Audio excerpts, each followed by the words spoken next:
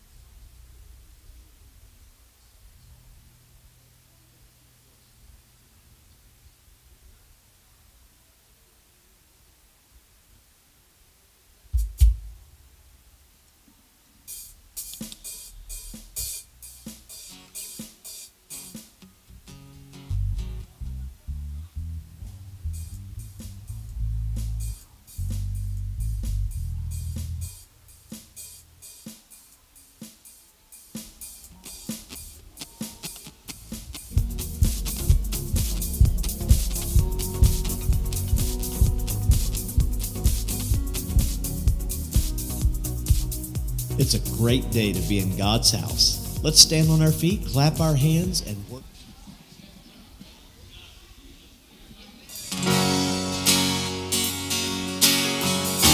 Good morning, Maranatha. I'll go ahead and stand up. Let's get ready to worship the Lord this morning for his goodness.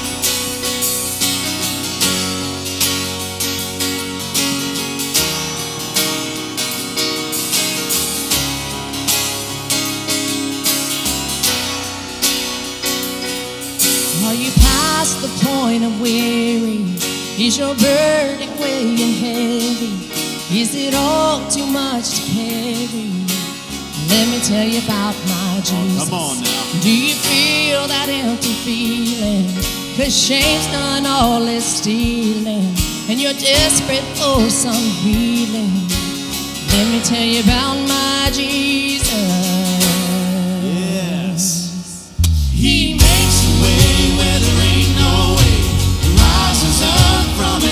An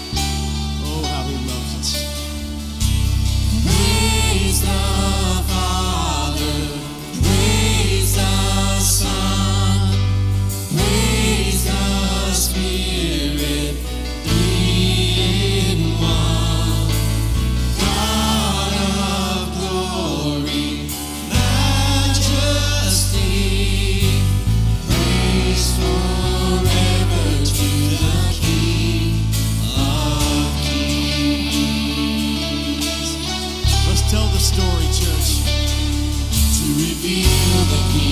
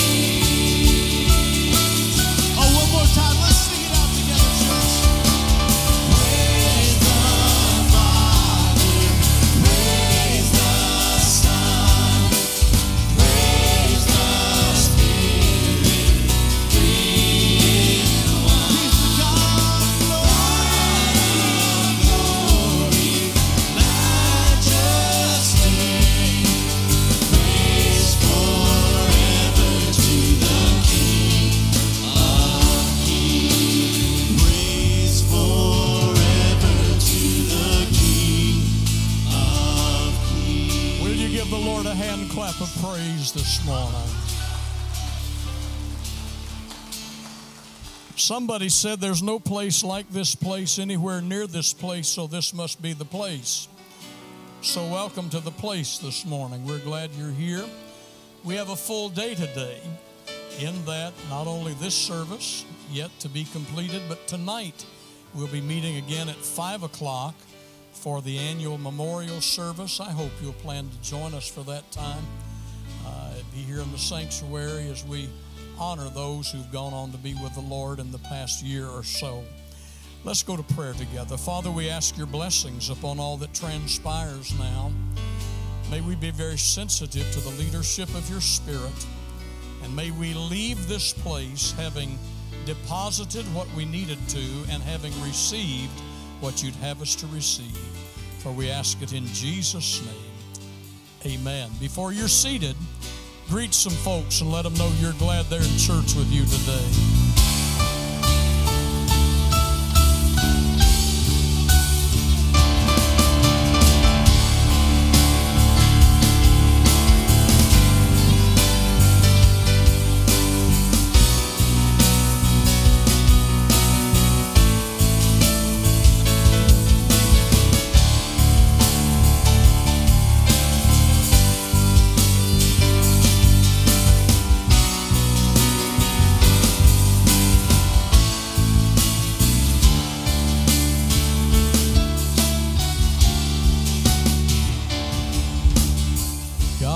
You may be seated. I see a lot of waving going on this morning, I guess. Maybe we ought to have you all stand back up and we'll do the wave together. Some folks, it's just a long way to have to walk to try to greet them, isn't it? Let me mention a couple of things to you. In compliance with the Constitution and bylaws that govern this church, we want to make you aware and give you due notice that the annual church business meeting is this Tuesday night at 7 o'clock. All of those on the active membership roll are encouraged to be here to participate. However, if you're not a member, you're still welcome to come and see how the business of this church is transacted as we uh, elect one board member. Reports will be given as well.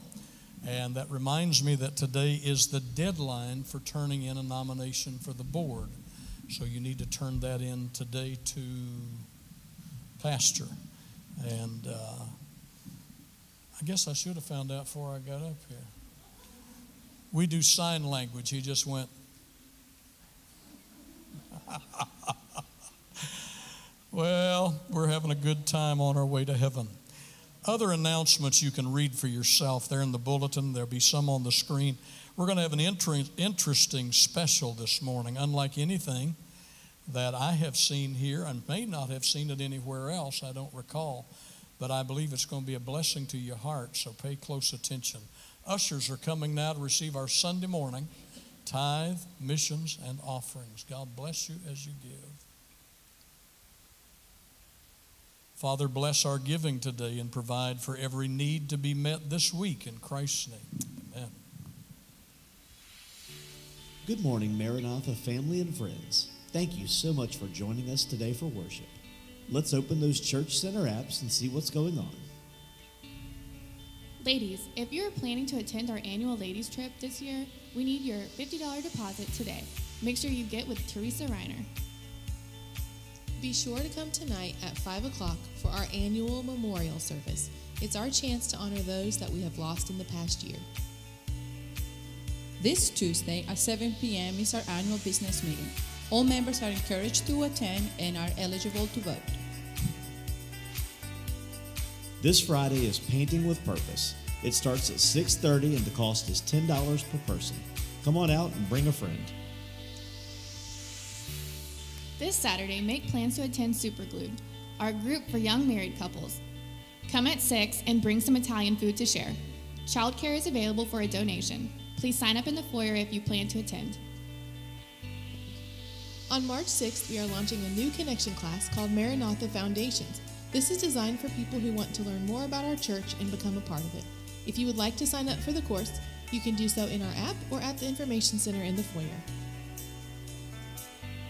Men, if you would like to attend the Georgia Men's Retreat on March 11th and 12th, make sure you see Lane Oliver today. You can sign up in the foyer or on the app. Make sure you download our Church Center app and follow Maranatha on social media to keep up with what's going on. Again, we are glad you joined us today for worship.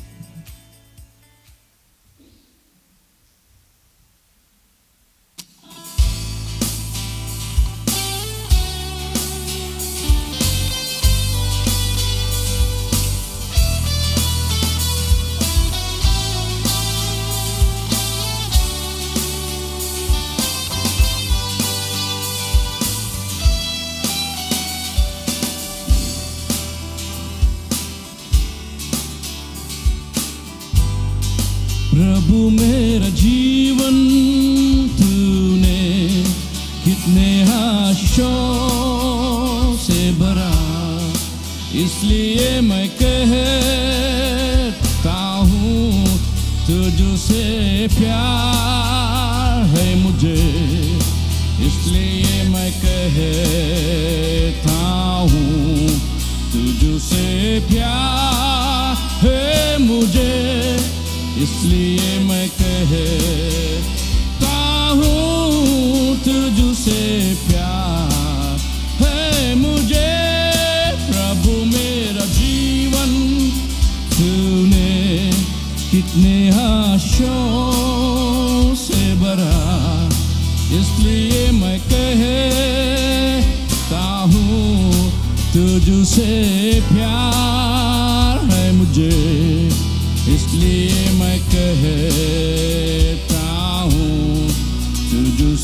piace.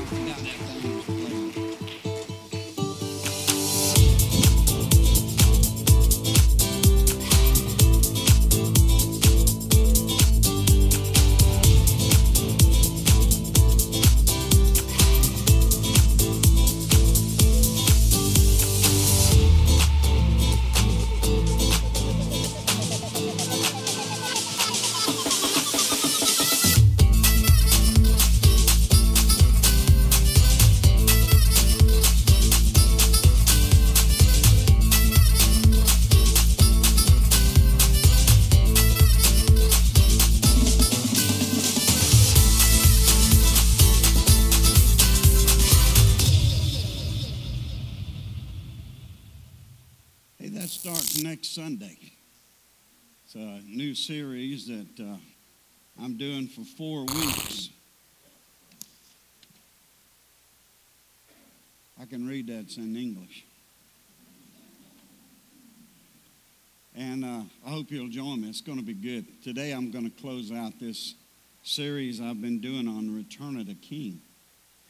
I know you enjoyed that song. Jordan, that young man plays guitar so well over there. He had a birthday a while back, few months ago, and uh, and uh, girls, he's 19. Uh, I, I didn't say that. I'm sorry. I'm sorry. and uh, at that uh, birthday party uh, gathering, Daniel, he played and sang in their language, India. And uh, they sang and laid, led some praise song, and it was so cool. I loved it, and, and especially in Indian, they sang it. So I was just blown away when they sang special this morning. I thought, well, that is so nice. Daniel has such talent, and we kind of, he's kind of had it hid under a bushel, but he has such talent. But I got to tell you, the most amazing thing was the fact that Monroe learned some of that in India. I leaned over Pastor Branson in the first service. I said, dude, I believe Monroe's singing that in Indian. He said, Monroe can walk on water.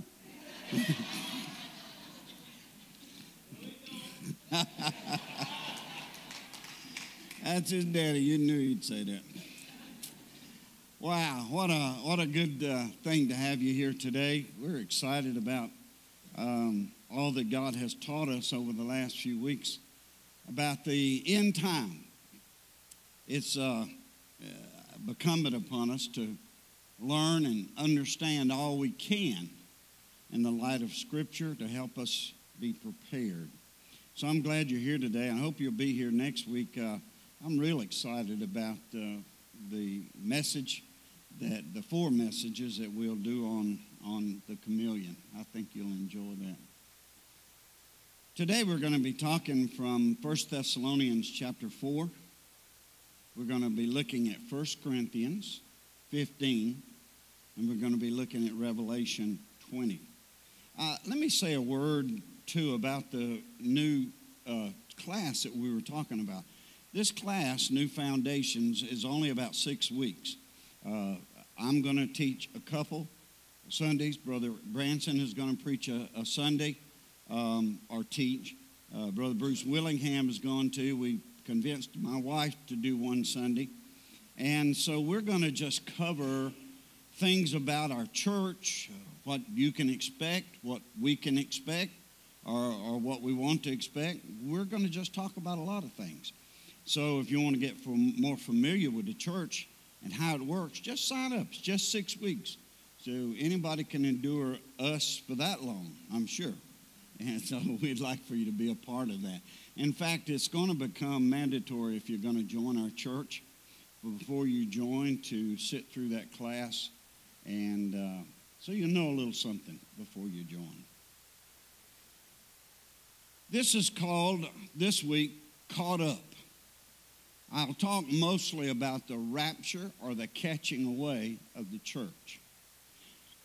I figured out recently that uh, fall is my favorite time of year because during every day it appears that that uh, it gets a little cooler. It uh, leaves fall off the tree. All of that reminds me, I'm so nostalgic of two things college football and deer hunting. Go dogs. One of my, uh, I love, I love deer hunting. I love uh, college football. So when I see the fall coming, you know, things start happening, I don't get depressed. I like it. That's one of the wonders or abilities that God gave us as humans is the capacity to think about the future, to look forward, to anticipate things that are coming. And so because hunting and because college football thought I went blind. I'm, I'm, not, I'm not depressed when uh, the leaves start turning brown or the temperature starts getting colder or the days start getting shorter. I'm not a fan of that. But because of my two favorite hobbies, college football and golf, I mean hunting, I so I have three. So what? You just don't know all the others I have. I look forward to that time of year, looking forward to something, in my opinion. Uh, it can get you through some kind of uh, bad times, rough times. Uh, I had someone call me recently or text me, and they were going through a difficult time because uh, she had lost her father, who happened to be my brother. And uh, she said, I'm so lonely. I miss my dad. And she said, I have you, and I appreciate and love you. I told her that night I, in the text, I said, find something that makes you happy right now and do it. Because that'll kind of get you out of that fog. Well, looking forward to things, the anticipation of them, is, is to kind of encourage us, make us feel better, make us enjoy it. I, I think that's why God tells us so much and so often he mentions in Scripture about his return.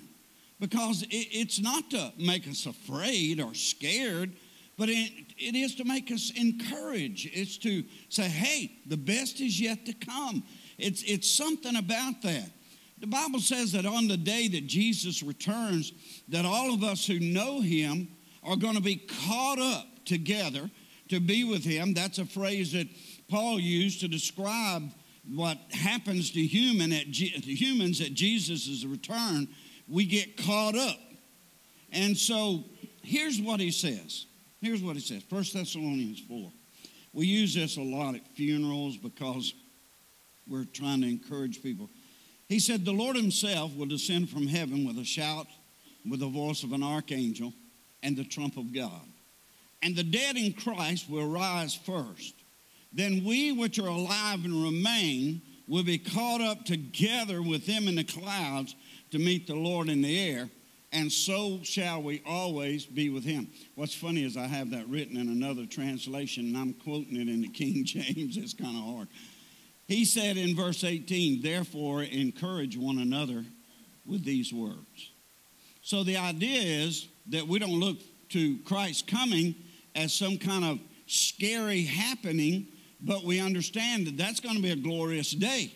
That, that's what we're working for. That's what we're here for. That's what we're serving God for, is that we don't have to live in this world. Abraham said we're just pilgrims uh, passing through and so we need to remember that. And I'm so afraid today that people don't hear that.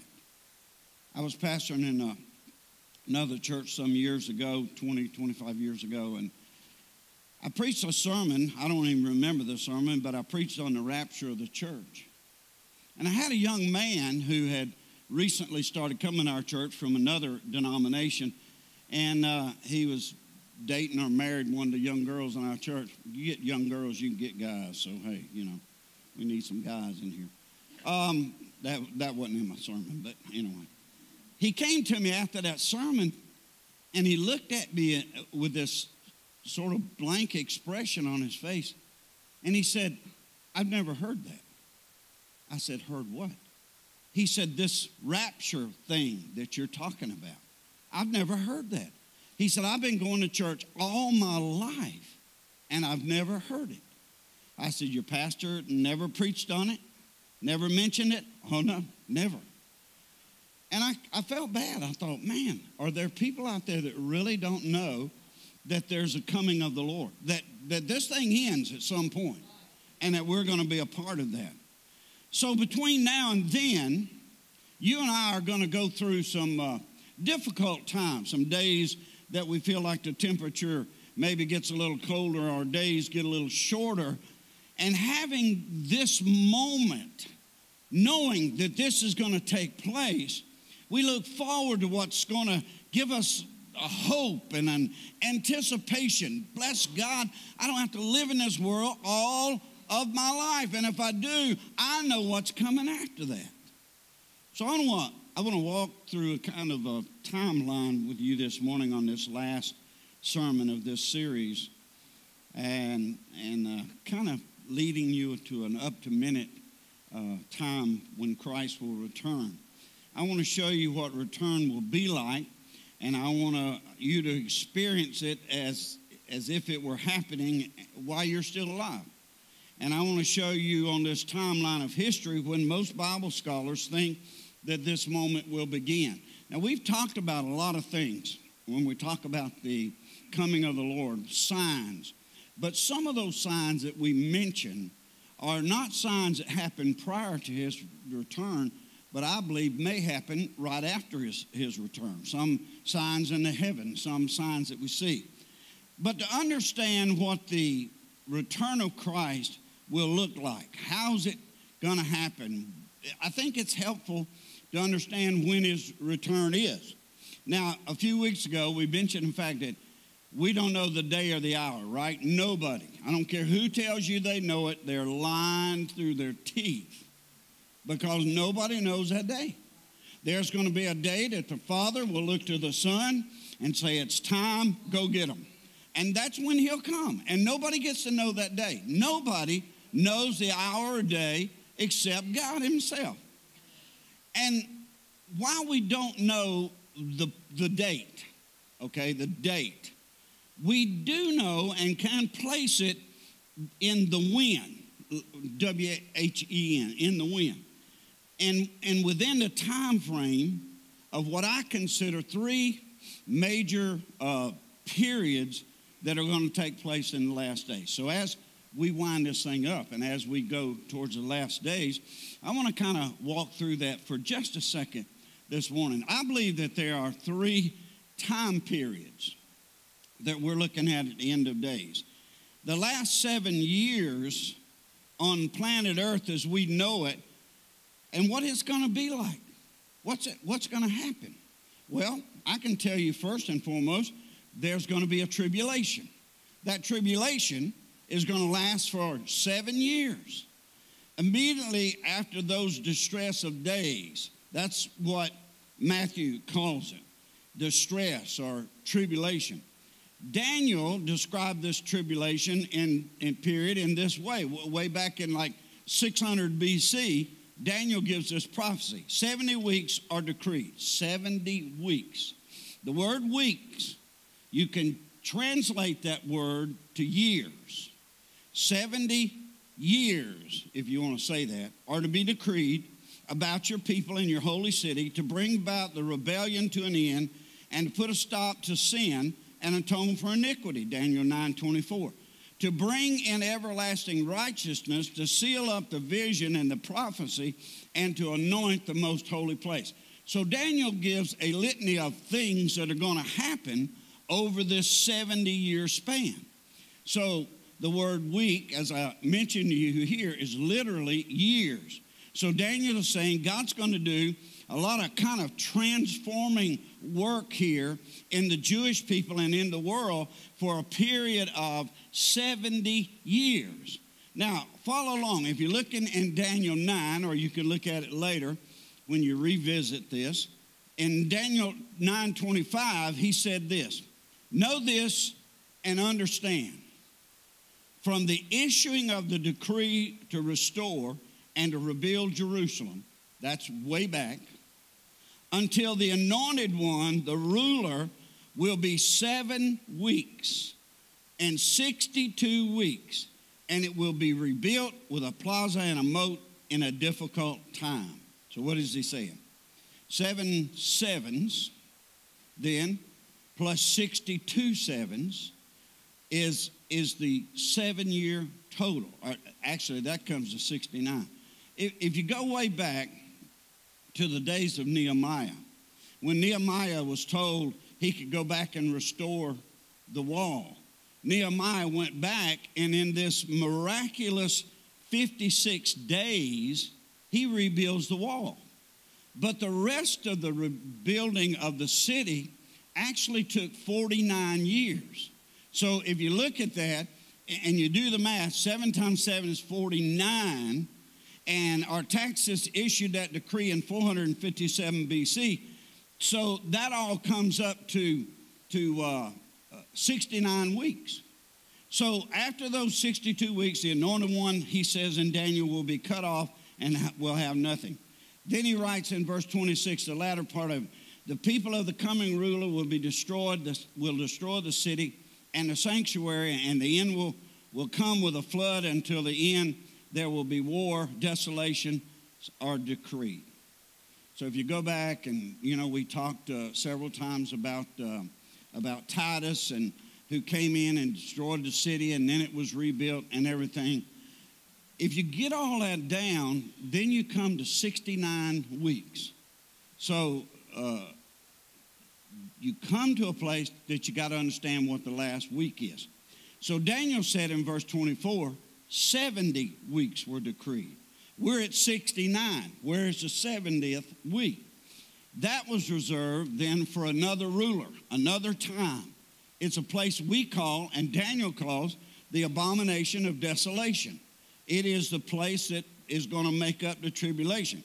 So, this other ruler who is yet to come, which is going to be uh, coming known as the Antichrist. Brother Branson told me the other morning, he said, You know, if you'd announce you're going to tell who the Antichrist is, we'll fill this place up. Problem is, I don't know who he is. Boy, there's been every speculation imaginable about who he, will, who he is. Uh, uh, most of them have died and gone on, and uh, so we know it's not them. But somebody is coming, and somebody's going to become the Antichrist. So for one week or one seven, that time will be called the tribulation. Now, to complete that prophecy, Daniel writes in verse 27 but in the middle of the week, so the middle of the week is going to be three and a half. Three and a half, uh, seven divided is three and a half. So Daniel is saying there's going to be a three and a half year period and then another three and a half period, period totaling seven years of the tribulation. Daniel writes in verse 27 But in the middle of the week, he will put a stop to the sacrifice and offering, and the abomination of desolation will be on a wing of the temple until the decreed destruction is poured out on the des- desolator. Daniel is basically saying there's going to be three and a half years, it's going to be tribulation. We read about it, we read all that's going to happen in the, in the Revelation, and I'm not going into all of that. I thought about it and I thought, no, we'll be here for next eight weeks if I do that. And then there's going to be three and a half latter part years. Now, Daniel referred to that as the abomination of desolation. It's the great tribulation, or the, I might say, the worst part of the tribulation. I, I was foolish enough when I was young to preach that we're going to have three and a half years of good and three and a half years of bad. I can tell you I was a false prophet. I didn't realize what I was saying. There's going to be three and a half years of hell, and then there's going to be three and a half years of real hell. So you don't think if you're going to get through it and you're going to go through the first part of it, you got it kicked. Uh, don't look at that. So the middle of the week means the, the middle of the seven or three and a half years. And the seven last years of this planet as we know it like it is, is simply known as tribulation. You got end time events that are signaling the end time. Doesn't I'm not saying it's signaling the coming of Christ. It, some of it is. Other of it is just signaling the end. The end of the earth, the end of the time that we know as on the earth. The second half of the tribulation is known, as I mentioned, the Great Tribulation and the Antichrist, who, uh, who right in the middle of it, after he's made a covenant with the Jews, and they think he's great and he's the Messiah, all of a sudden he's going to break that covenant and he's going to say, You can't worship in the temple anymore, you can't sacrifice anymore. And they're going to realize he's not it. They're going to realize it's going to be tough and it's going to be late, but they're going to realize he's not the one.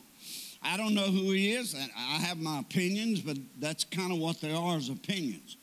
So anyway, that let me give you a timeline. That takes place.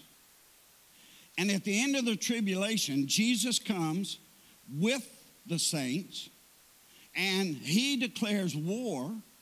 And then after that war is through, and Jesus wins, by the way, I'll give you that end of the chapter. I always like be on the winning side. Then he comes in and sets up a thousand year reign. It's called the millennium. Then after the millennium is over, Satan and, and all of that crowd is kind of loosed again to do their thing. And then comes the uh, wonderful time that the earth is restored, and then heaven is our home. The millennium, found in Revelation 20, verse 4. Millennium means a thousand, thousand years. Millennia, millennia means thousand, um means thousand years. So millennium is Latin for a thousand years. When Jesus returns, and he will, and he'll set up a rule on earth for a thousand years. Speaking of all the believers in the history who have died before Jesus is coming and or been raptured, uh, it talks about it in Revelation 20, verse 4 and 5. At the climax of the tribulation, Jesus is going to return riding on a white horse. We're going to be following him. His mouth, out of his mouth, will go a two edged sword. With it, he'll destroy those who have rebelled against him and, and set up a thousand year millennial reign in which the devil and, and the Antichrist and all of them are bound for that thousand years. I don't know if you're able to imagine an eternal state, so to speak, but that's what it's going to be like. I mean, I've never lived, or you have never lived in a world without sin. You've never lived in a world without pain or disease or destruction. You've never lived in a world without war, without uh, criminals breaking in and stealing. You've never done that. But during that thousand years, he's going to set up a, a rule and he's going to rule it with a rod of iron. And if anybody gets out of any rebellion starts, it'll be dealt with immediately. There's no, uh, well, we'll put them off and have 10 trials or whatever. It's going to be done immediately.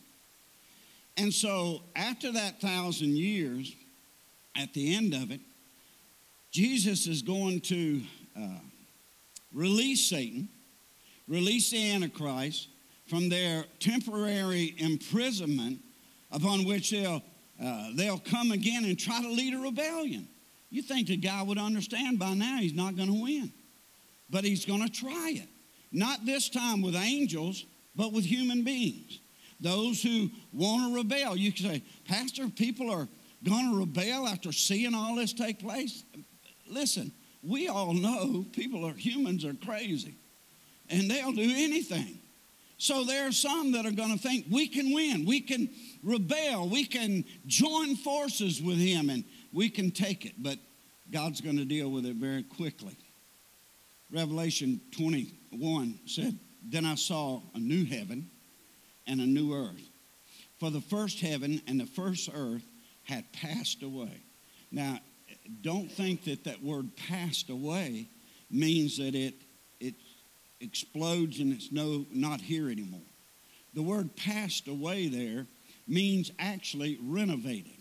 It's the same word that's used where Paul said, therefore, we are new creatures. Old things have passed away. That word passed away. When, when you became a Christian, you didn't blow up and blow out.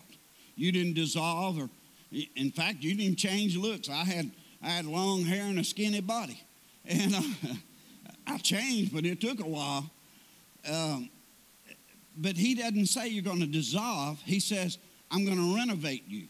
So for the last, for me, for the last 45, 50 years, he's been renovating me, changing me, building. You know how them, uh, you have them shows on TV where they buy houses and flip them, they renovate them. They go in and rip out the bad stuff and bring in some new stuff and make them look good, and everybody's going, boy, I wish my house looked. Well, that's exactly what God does in us. When Christ, when we accept Christ, He changes us.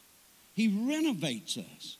He goes in and starts tearing away that stuff that's inside that makes us uh, what we were. And as He tears it away, it not only changes the inside, but guess what? It changes the outside. It renovates us, makes us something new. So he's going to do that to the earth. That's going to be a great time. Uh, I wished I had time to, to, to really talk about creation or the new creation, but, but I want to get down to the last fact, and that is the rapture of the church. We got to get to that point before we get to any of the others. One day, Jesus, uh, the disciples were told, in like manner as you've seen him go, he's going to come again. So we know, and they have been looking for ever since then, the return of Christ. In the same manner, he went away in the clouds, coming back in the clouds. So Paul understood this more than anybody else did. He understood the mysteries of God uh, how God revealed it to him is amazing. But one day he said Jesus is coming back. Here's what it's going to be like for us.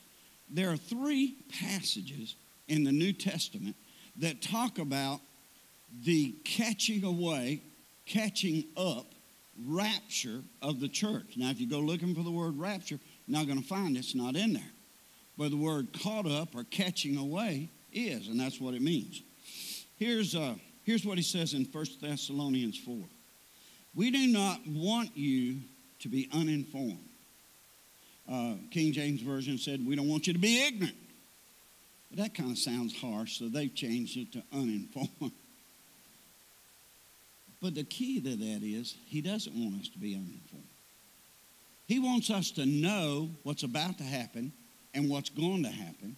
So he wants us to understand that. We not want you to be uninformed, brothers and sisters, concerning those who are asleep.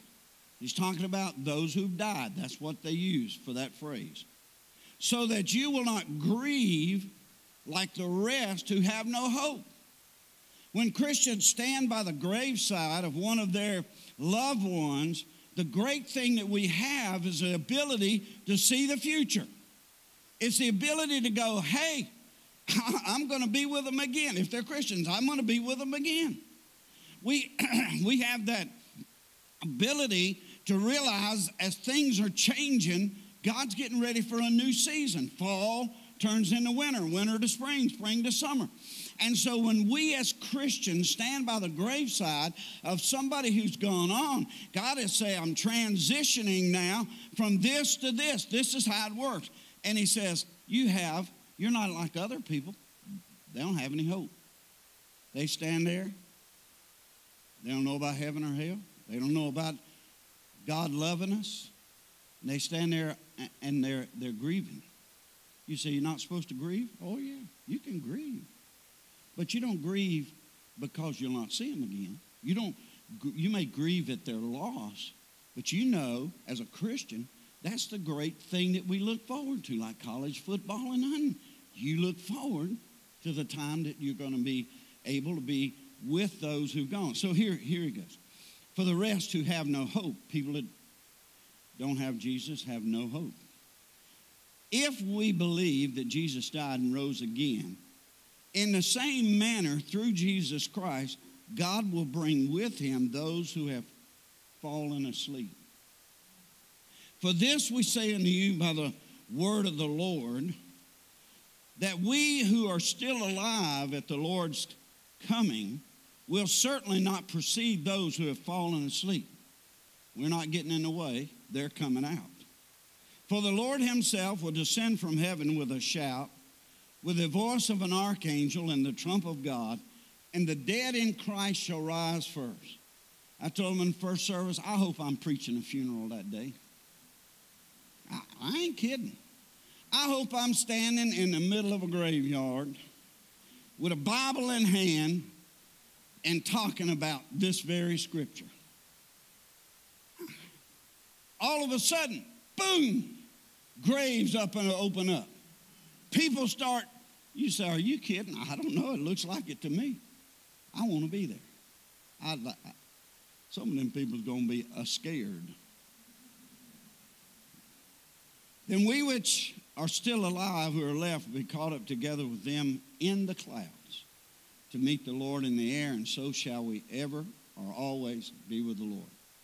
Then he gives us in verse 18 the words that I love to read at a funeral. He says, Therefore, comfort one another with these words. Why does he say that? If I know my dad or mom or brother or niece or somebody laying there, I know there's hope. You say, were they Christians? I don't know. I'm not judge or jury. I decided a long time ago I don't get to be judge or jury. All I know is I believe God's gracious and merciful. So what he does is his business, not mine. I'm not sent here to judge people or you can go and you can't. God, I'm glad I don't have that job.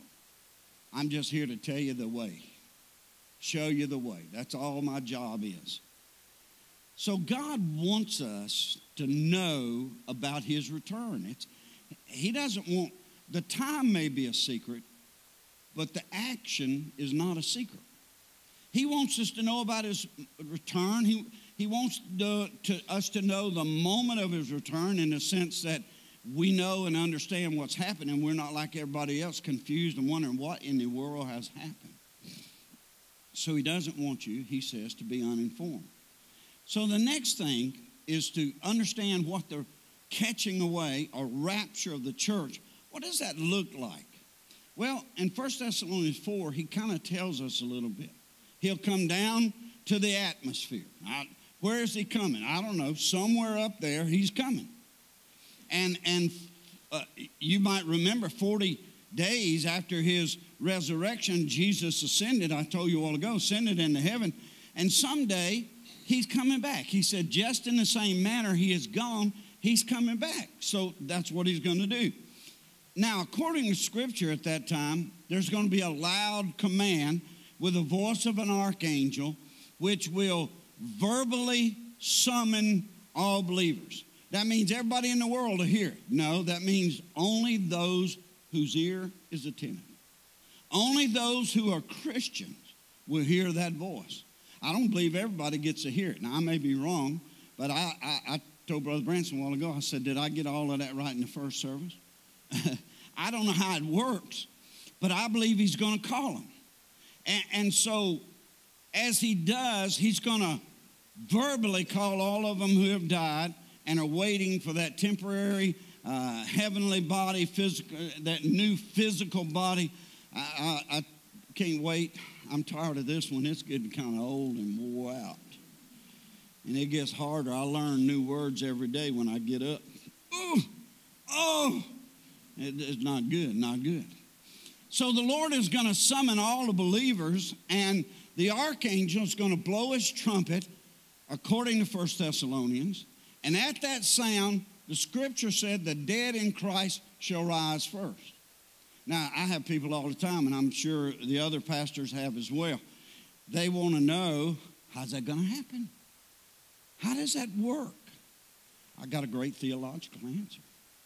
I don't have a clue. I just be honest with you. I don't know how the dead in Christ are going to rise, except the resurrection power. I don't know what they'll be like, except to know he said we'd be like him. I don't know except to know he says they'll live again. Now, those are things I know. How it happens, I'm not sure. But the dead in Christ are going to rise first. Well, if you look at Jesus on what we celebrate as Easter, he rose from the dead. He had a type of body to where he could, he could change the molecules to pass right through a wall. And yet he could sit on a beach and eat a piece of fish. He could walk with two guys on the road to Emmaus, and they didn't know who he was. And then all of a sudden, sudden something revealed to them that this was Jesus who had just been crucified. How does that stuff work? I don't know how it works. I don't have theological answers for that. Brother Branson, a lot smarter than I am, and he probably does, but I don't. but an instant after the, all the believers are assembled, they come up. Somebody said, Why did they come up first? I guess they got further to go. I don't know. They come up out of the ground. Then it says, The alive in Christ. Those who are alive in Christ. Just think if you're here when the catching away of the church comes and you're alive, you're going to meet those people who come up, and together you're going to ascend up into heaven with the Lord. Pastor, is that true? Well, that's what Scripture says. You won't even need like a Superman cape or an Iron Man suit. You're going to just. I believe that we'll ascend just like Jesus did over 2,000 years ago. We'll meet him, according to Thessalonians, we'll meet him in the clouds. And uh, in Roman times, back some years ago, when a general had conquered a city, he didn't just immediately come in. He would go out and assemble outside of the city with an entourage of people.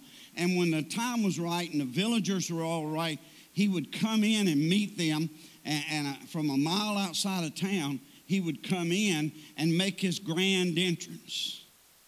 Jesus, at whatever point in time he comes, is about to make his grand entrance. We've talked about it. We've preached about it. We've read about it. We've talked about it Sunday morning, Sunday night. And yet there are still like men like that young man who had never heard that Jesus was coming. Jesus, we've been talking about his coming. It, it hasn't been to make us afraid.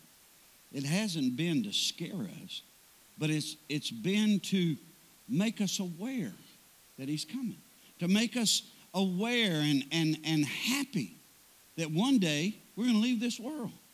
I don't know about you, but I, I'm not crazy about this world. I mean, I'm not looking to die, but hey, this is a wicked place. You're afraid, afraid to almost do anything anymore because people are, they've gone nuts. The rebellion is such that it's, you're just afraid to eat in restaurants. You almost, I, I sit with my face to the door. Teresa will go in she'll say, Which seat you want? Never mind, I know. You want to face the door. You got it. We're going to meet him in the clouds. We're going to be taken away.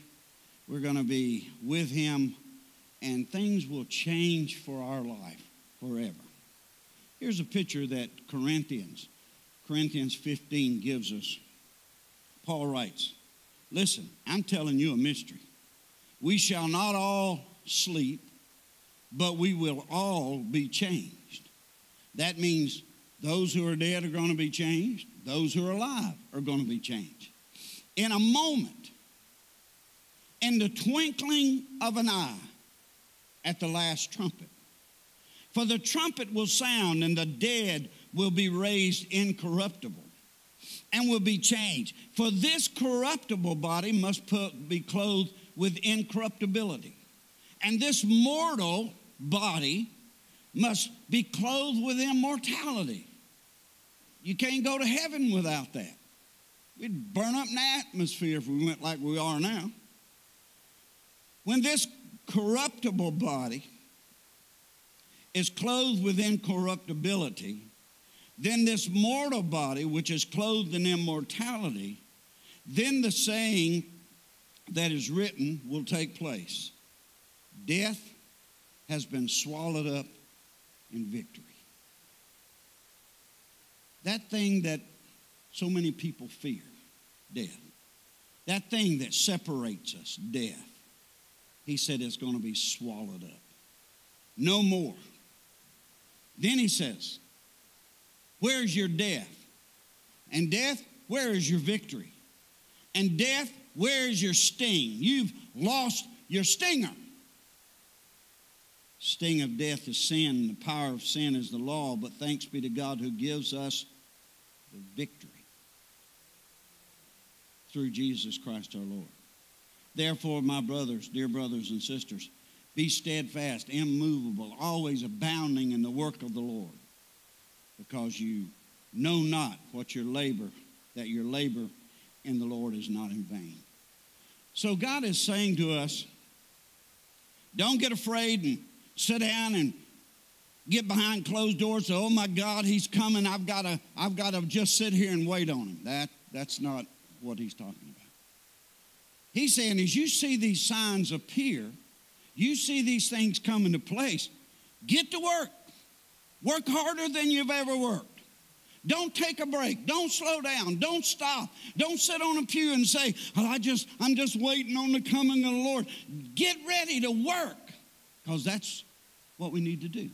I look for ways every day to witness to somebody.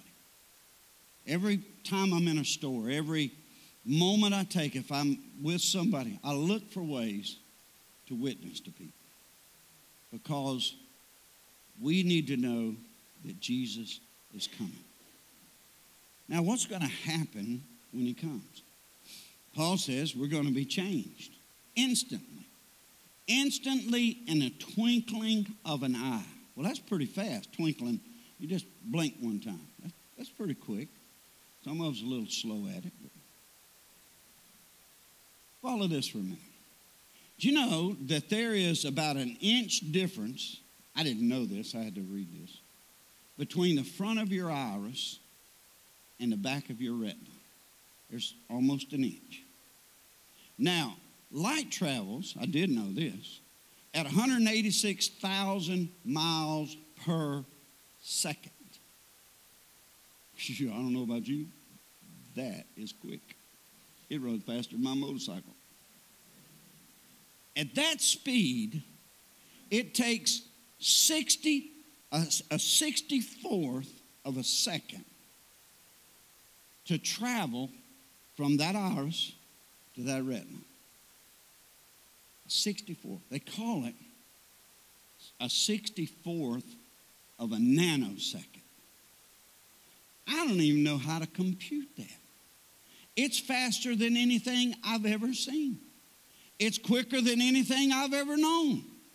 And Jesus said, Paul said, we're going to be changed. People are not going to really notice it because it's going to happen so quickly. They won't even know it. We'll know it. They won't know it. One minute dead, next minute, one minute sad, the next minute, heaven. One minute in pain, oh my God, gone.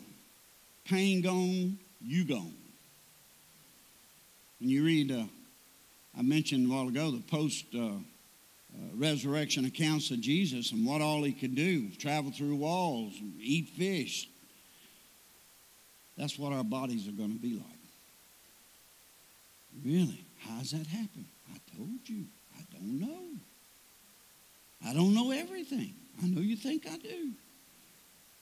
I know that because somebody said he thinks he knows everything. So we'll get those new bodies in a 64th of a second, of a nanosecond. Third passage covers our condition at his return. That's uh, Revelation 20. They came to life and reigned for, with Christ for a thousand years. We are caught up. Things are going on. Marriage supper of the Lamb. Boy, I'm looking forward to that. What they're going to serve? I don't know, but I believe it'll all be good. We're going to eat together, worship Christ. And then after the seven years of tribulation, I believe God's going to say, okay, go take care of things. Out of the eastern sky, white steed, he who sits him sits on him, whose eyes were as flaming fire, who had a vesture, who said, This is me. Coming back. And scripture tells us in chapter 19 that we're with him. We don't have to fight. We don't have to do anything. We just ride with him. And out of his mouth will go a two edged sword, and with it he'll slay the nations. He'll put everything back the way that it should be for a thousand years. Will it be rebellion? Yes, but it'll be taken care of. And for a thousand years, he'll rule the earth with a rod of iron. Then, at the end of that thousand years, he's turning that mean old devil and that Antichrist back out. Some people say, why is he doing that? Giving everybody a chance that's left to make it right. Now, I'm pretty sure at that point, a lot of people have just too far gone. But I'm not sure. So I believe that he's coming back to do just that.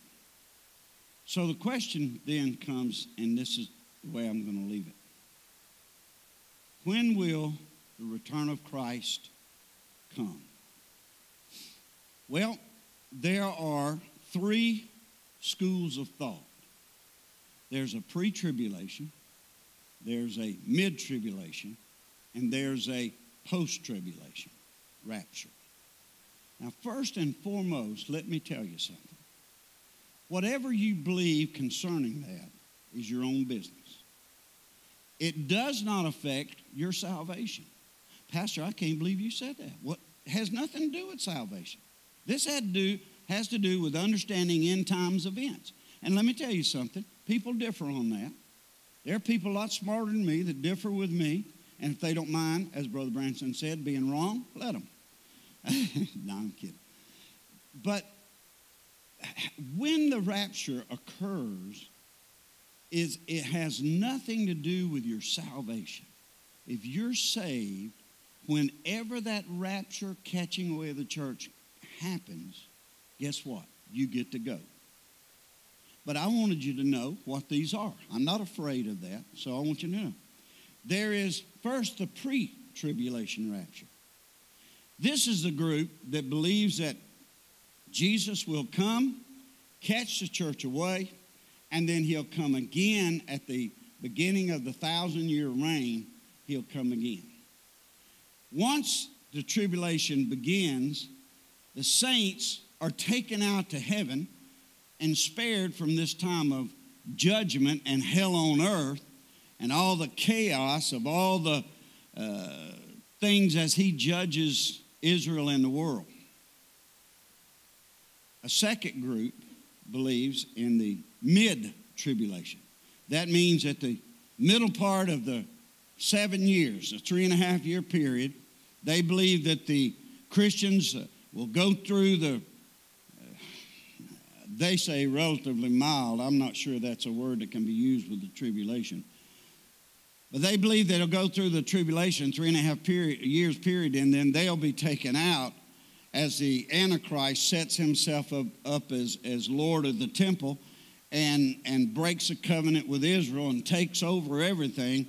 So they believe they'll go through the first part of the tribulation, but not, not the uh, great tribulation. And then there's a third group of Bible, I want to call them Bible believing Christians because they just interpret it different than maybe you or I do. And that, believe it or not, I can't believe I say this, but it's okay if they do. It's okay. This view believes that we'll be protected in the midst of the tribulation. And they often reference Israel being in Egypt, being protected and, and sheltered, but there's some problems with that because it doesn't equate to other scripture that he says we will be kept from those things. And so in John 17, they use the scripture I'm not praying that you take them out of the world, but that you protect them, and he says, from the world. And that's true in reference to the disciples, but I believe in, in Revelation, we're told that because you have kept my commands to endure, I will also keep you from the hour of temptation or testing that is going to come upon that's revelation 3.10 that is coming on all the world. So here's what i believe. I believe that uh, and, and i want to tell you that that it's my belief. You weigh your options whatever way you want to. But as your pastor or as the pastor of this church i think i'm obligated to let you know where i stand on this subject I believe that Jesus will return just before the tribulation begins. Now, that's, that's what I believe as a pastor. I'm not telling you have to believe that. I'm just telling you that's what I believe. And so let me give you what I, what I believe is my reasons in a condensed kind of version. There's really just three that I look at. There's a lot more, but the three I want to leave you with is this. Number one, Revelation is, is divided in three books. I'll talk about that in, in three parts, and I'll talk about that in a minute. John was told, I want to show you what was, what is, and what is to come. So Revelation is divided in three areas what was, what is, and what is to come. And anytime you disrupt that uh, correlation of Scripture, it changes the interpretation and how you might believe it. So if you look at what was and then what is, before what is to come, in the latter part of chapter 3 of the Revelation, there is a marked change in the attitude or God's attitude towards humanity in regards to, to judgment and mercy. In the first three chapters, he presented more as a God of mercy and a God of judge uh, uh, uh, of mercy and leniency. And then at the end of chapter three and the beginning of chapter four, he becomes from chapter 4 all the way to chapter 19 he becomes a god of judgment You say, oh, he's not like that. Well, you open the book and read, you'll find he is like that.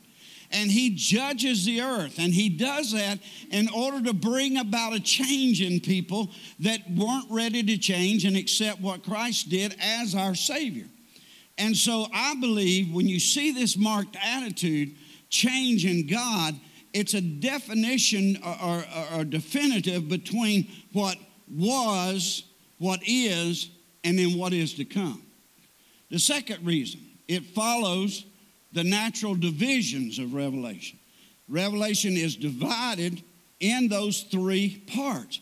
And it and if you if you understand that that division and, and if you read Revelation with that kind of thought, you understand God was saying to John, I want to show you what was. I want to show you what is, but I want to show you what is to come. And then the third thing is this, and maybe in my belief, more important than anything else.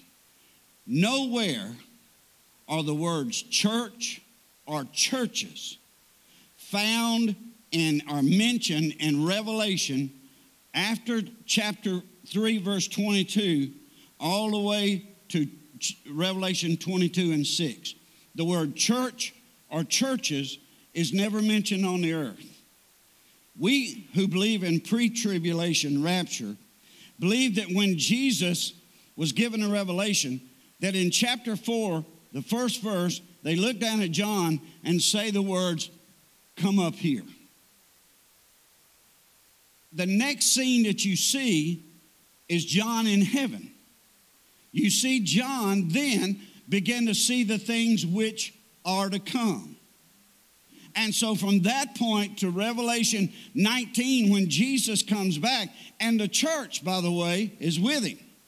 Those of us who have died and go on, we are with him. So somewhere or another, we had to get there. That's why some say, well, it was mid trib, and some say, well, it was right after the end of the tribulation. But that's not true because the end of the tribulation hadn't always come to an end when Jesus comes back. And we're with him. We get to be with him.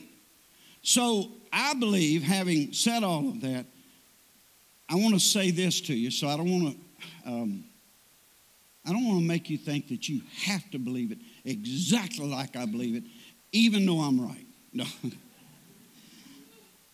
all Bible believing Christians agree that whatever we believe about the timing of the rapture is not a doctrine that should divide us or disqualify anybody from heaven.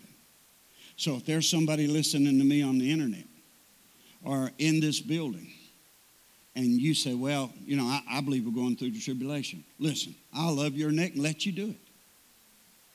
But I hope to get out of here. They call it escapism. They can call it whatever they want to. I want out. I don't want to be here when all that junk takes place. And if I can get out of here, I'm getting out of here. But if I don't, he'll take care of me no matter what. So, that's my view on all of the things that are happening. There are some things that have happened. We talked about uh, sacrifice of the blood uh, of the red heifer, and we've talked about the moon and the stars and stuff like that. Some of that's going to happen prior to the tribulation. Some is going to happen during and after the, or during tribulation. The whole point is found in Paul's words. Comfort one another with these words. My suggestion to you is no matter what time Jesus comes, he is returning. And we ought to be encouraged because this is the ultimate great moment in history when we will meet him face to face. It's that time that we get to be together. So, my point to you is I, I really don't care if you believe whatever or whatever. I just want you to be ready. Therefore, my dear brothers and sisters, be steadfast, unmovable, always abounding in the work of the Lord, because you know that your labor is not in vain. What we're doing here today, what we're doing here as a church, what we're doing in missions, what we're doing in, in the new event that's coming on this day uh, in a few months, we're doing for the sake of eternity to change people's lives. I want to be ready, and I want everybody else to be ready as well. So if you're uh, sitting in this place today and maybe you're not quite where you need to be, maybe you're just kind of floundering around and you're hoping, hoping that maybe right at the end, you're going to make it in. But what if you don't? What if you play around a little too long? What if you ignore his call one second later than you should have? What if you are standing there one day and your mate goes, you don't even know what's happened to her? Where did she go? You got to be ready. It Has nothing to do with anything else today. You just got to be ready. You've got to accept Jesus Christ as your personal Savior. And then you've got to live for Him. What is living for Him? It says work, labor. Know that your labor is not in vain. It's imperative for us to get to work, roll up our sleeves. We're trying to do that as a church. I sit with the staff every week and we talk about what can we do? What can we do? Not just to build numbers, but what can we do to reach people with the message of the gospel? Least they need to hear. Because one of these days, the church is going to be caught out of here. Some have played around with God so long they don't even feel that touch anymore. Let me tell you something, church. That's a dangerous place to be. I sit in a church for most of my childhood, and I would feel, even as a child, I'd feel God tugging at my heart. I'd, I'd hear that small, still voice that would say, You need to get right. And every Sunday I'd fight it. No way. I'm way too young for this. I can't about, I'm not about to. And back then we were told you couldn't do anything. It wasn't about loving Jesus. And so I wouldn't give up. And I missed, I missed that whole opportunity to become a Christian, to live, to live right. I missed all of my teenage life not serving God until one day, most of you know the story, he came to my house, made a visit, said, Today's your day. And I ran to him. And I've been serving him ever since. Are you perfect? No, I'm not perfect. I live with Teresa. I'm not perfect. But I became a Christian. It was the greatest thing that ever happened in all of my life. Outside of my kids and, and Teresa, that was the one distinct and most wonderful thing that ever happened in my life. That's all Jesus wants for you. Some of you sitting here, you fight him week after week. I know I ought to make a commitment. I ought to get closer to God. But you don't do it. I'm not trying to make you afraid, but I am trying to remind you that one of these days, when we least expect it, when we don't know it, others are going to hear a trumpet sound. Others are going to be caught up and caught away. And you're going to be left here to face whatever is coming this way. So I encourage you this morning. My heart breaks. I want you to become a Christian. I don't know what that means. Jesus said if you confess with your mouth, believe in your heart. I, I don't know why he wants me to say this, but believe in your heart, confess with your mouth that Jesus Christ is Lord and that he died and rose again for your sins and mine. In other words, he went to the cross, he bled, and that blood washed away all of our sins. He was the perfect and ultimate sacrifice. There need never be another sacrifice. He was one and only. And if you're willing to acknowledge that and accept Him this morning, then you're saved. You can be saved just by praying a simple prayer. It doesn't have to be, I'm not sure I prayed a prayer. That day I went to Brother Nams and Sister Nams' home and I said, Look, I need to pray. He said, Looks like you've already learned how. I just knew I needed a Savior. My life needed to change. I wasn't afraid necessarily to go to hell. I just was hating the way I lived, and I wanted a new life. And you know what? Just like that, I accepted Christ, changed just like that. Changed everything. Changed. I went to church that night, hair long, skinny body, drugged out of my mind and drinking the night before. Saved just like that. Saved. You know what? God did go, boy, I'm, I'm not giving you a chance. You're sorry, no good friend. I knew that. Boy, he just ushered me right in. And this church, this church, when it was over there, took me in. They knew I'd been a rebellious person all my life. But Jesus came in that day.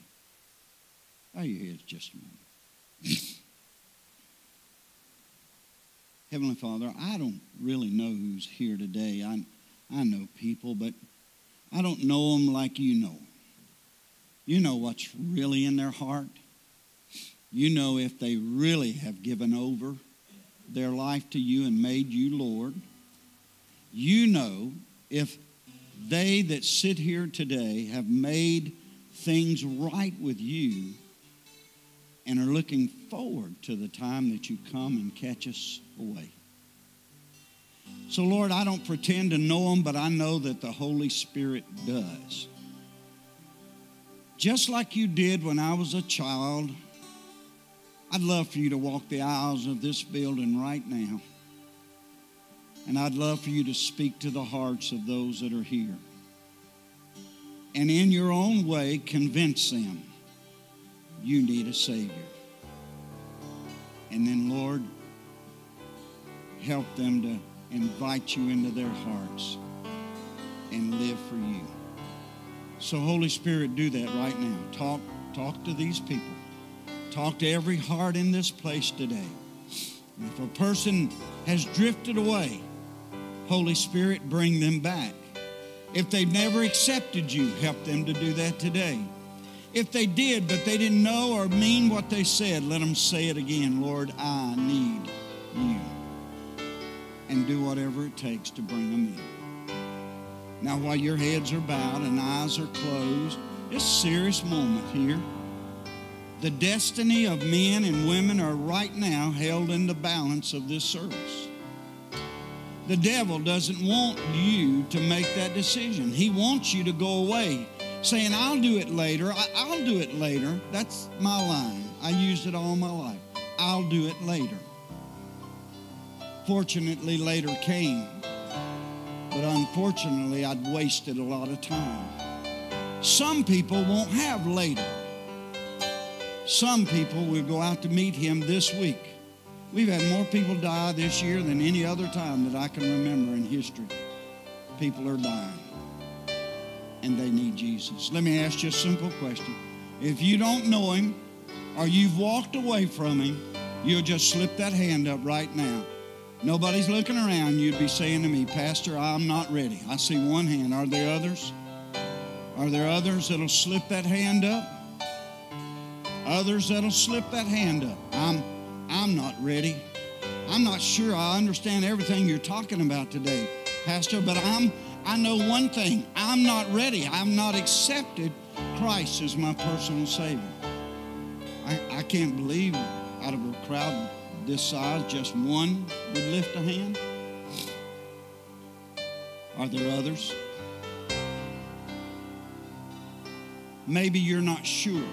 I, I haven't made an appeal like this in quite some time.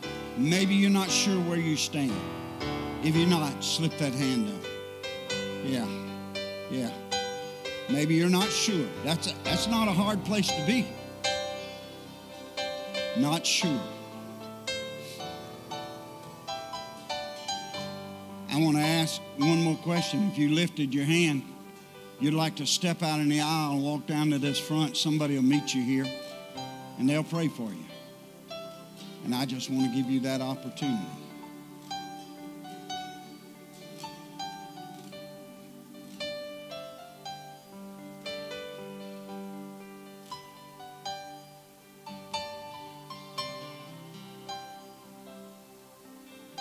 Heavenly Father, I thank you today for touching hearts. I pray that you'll make us all a little uneasy, to make us check ourselves, make sure of our relationship with you, and to always pray in such a way that you're our advocate, that you go to bat for us. It's not anything we do as a person, but that you've done as a Christ as a great sacrifice for our sins. Help us, I pray. Find a place with you today that we need to be. In Jesus' name. Stand with me together. Pastor Branson's going to.